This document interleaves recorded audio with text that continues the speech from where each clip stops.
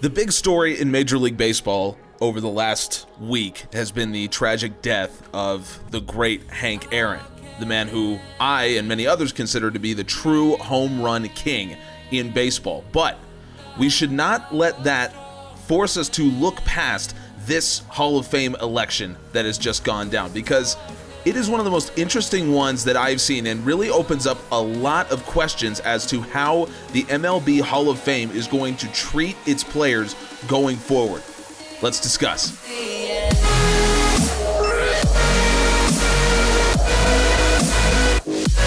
So, the big headline from this Hall of Fame election is that no player was voted into the Hall of Fame. For the first time since 2013, we will have a Hall of Fame induction that includes nobody. Now, during the summer, we will see a Hall of Fame induction ceremony. It will be for the players that were elected last year that missed out on their ceremony because of the uh, coronavirus pandemic. But this opens up a lot of questions. Not only questions about the voting system itself, which we'll talk about, but questions about some of the players who continue to be right on the cusp and are not quite going to get in. So first, let's talk about the voting system. For anyone who's not aware, the way that MLB voting works is a player has to be retired for five years, and then they will be on the ballot for a maximum of 10 years. And you have all of the Hall of Fame electors that vote. They can vote for a maximum of 10 players to get into the Hall of Fame. And if any single player has at least 75% of the Hall of Fame electors voting for them, then they will be inducted into the Hall of Fame. So it works much differently than it does in in any other sport and it leads to much smaller Hall of Fame classes in baseball than what we see in uh, most other American sports. And so usually you end up with between 2 and 5 uh, members of a Hall of Fame class any given year. This year there were not a whole lot of new uh, players eligible for the Hall of Fame, at least ones that we would that we would consider to be, you know, can't miss first ballot type Hall of Famers. Um, so people like Scott Rolen, Omar Vizquel, Todd Helton, Billy Wagner, you know, people like that, that you wouldn't say, okay, these are first ballot guys, um, but certainly people that that may very well get in at some point. And it's worth noting because you can be on for 10 years, the way that that uh, MLB Hall of Fame voting works, it's it's almost like it's almost like a tradition you know you have to be at a certain level of player to get in on the first ballot so you know in recent history you're looking at people like Mariano Rivera Ken Griffey Jr. those those that's the level of player that needs to that you need to be to be able to get in on the first ballot with the electors knowing that as the years go on the, they're probably going to vote to get you in so a lot of these guys will end up being in the Hall of Fame, and certainly when it when we look at the last time there were there was no one in a Hall of Fame class, like I mentioned, 2013. I think it ended up being that seven players that were on the ballot in 2013 ended up being in,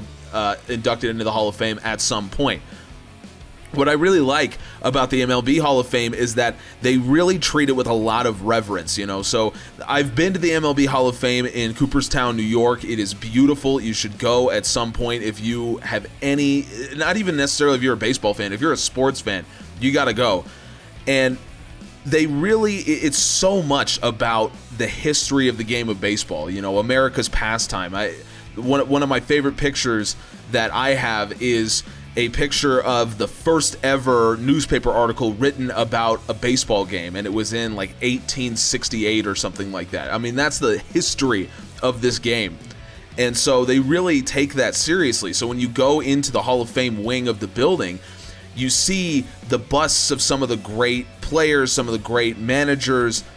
You know, you, you see everyone's plaques on uh, with their names. I mean, it's really it's it's really amazing and it shows you just how much they care about the history of the game of baseball. That's a big reason why they are so selective when it comes to Hall of Fame voting.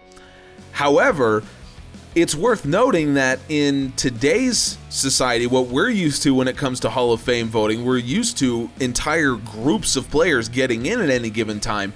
It's hard not to feel like the MLB and the BBWAA, the organization that runs the Hall of Fame, that they're just kind of behind the times a little bit. That the idea of having no players elected to the Hall of Fame in a given year, that that's kind of arcane. It doesn't really it doesn't really keep up anymore with with the way that sports are moving. And I think to deal with this first issue, I think that what we should be doing is we should be encouraging every other league to operate more like the MLB and the BBWAA than less than the reverse.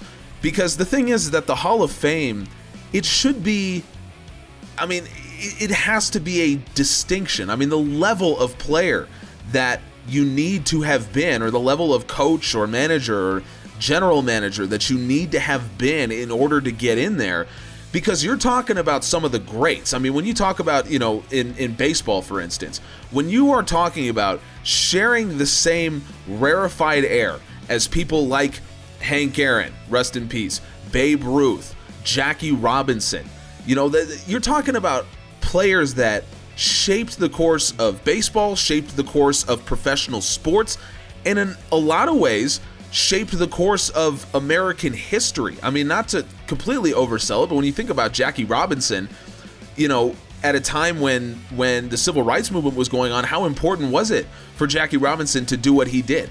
That's the kind of player that you are about to step in there with. And so to me, we should be incredibly selective about who goes in there. It, it you know, the idea of having a Hall of Fame career, we throw that term around almost as if it means good career, you know, or, or above average, a player that will remember in five years. But the Hall of Fame is about players that will remember in 20 years.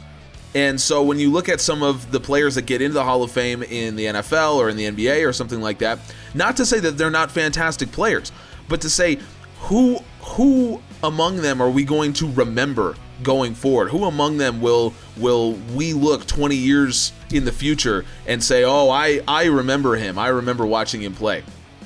That's the real question, and I think that's something that the Baseball Hall of Fame, the National Baseball Hall of Fame has really nailed.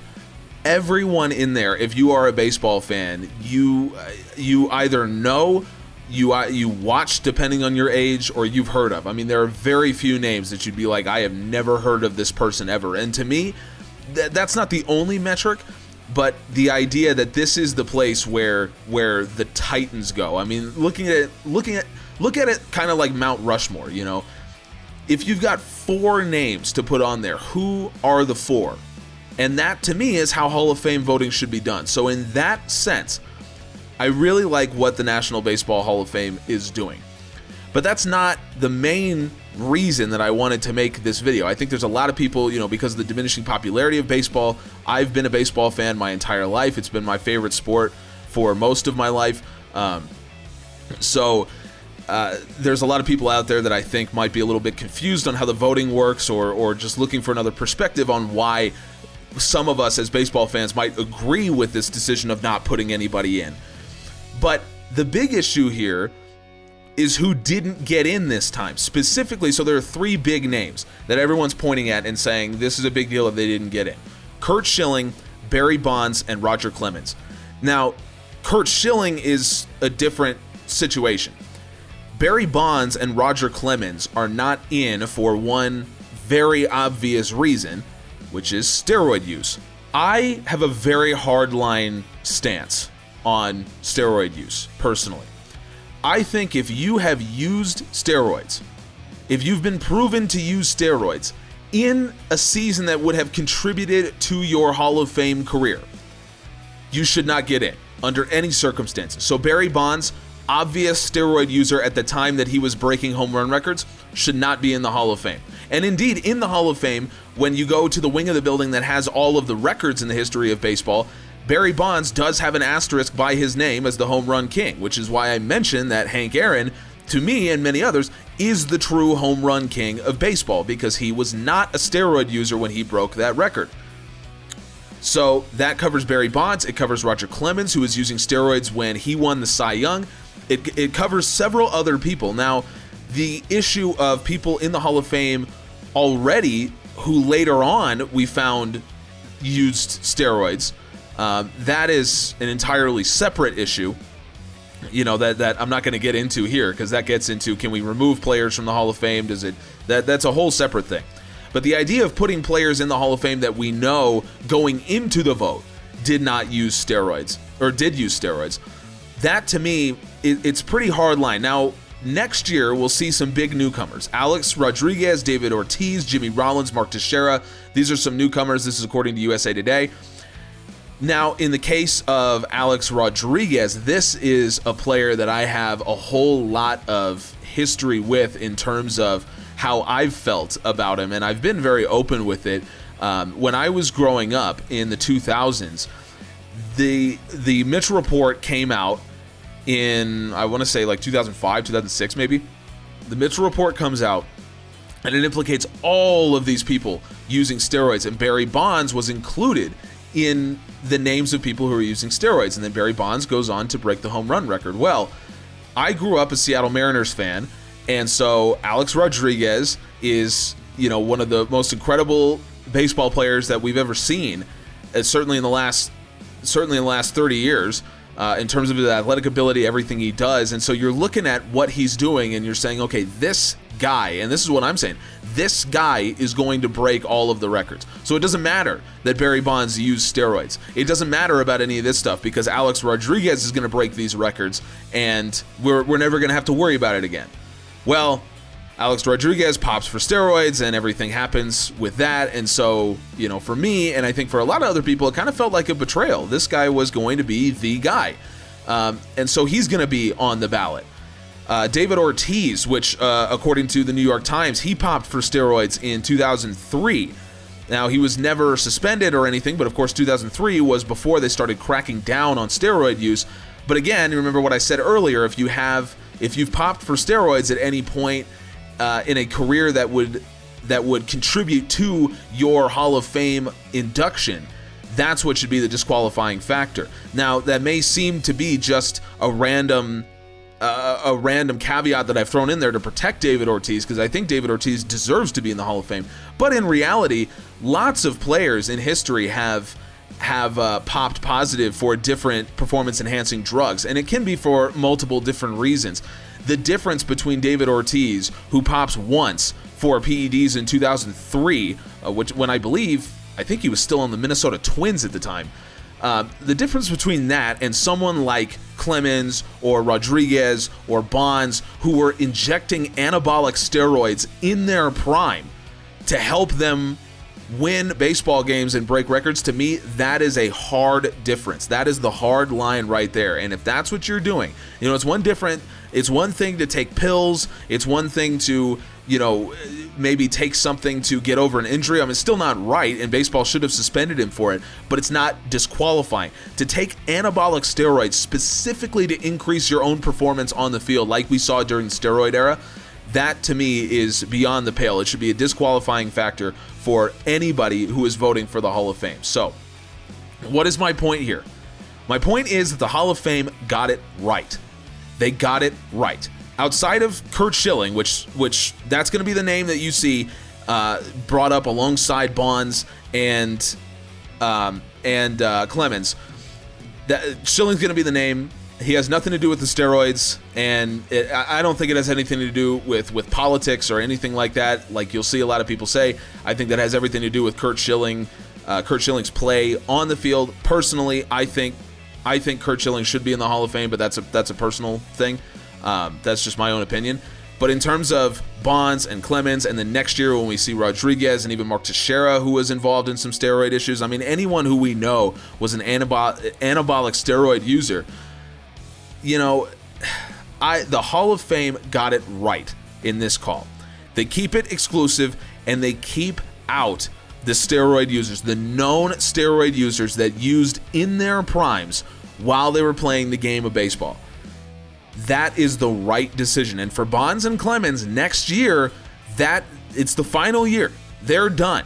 The only way you can get in after that 10 after that 10 year mark is if you're elected by the Veterans Committee, which they'll take players that were overlooked or uh, you know that didn't get in in their 10 years, but but across history we realize they should be in the Hall of Fame. They usually take a couple players, but they're not going to take steroid users. They've been pretty clear on that.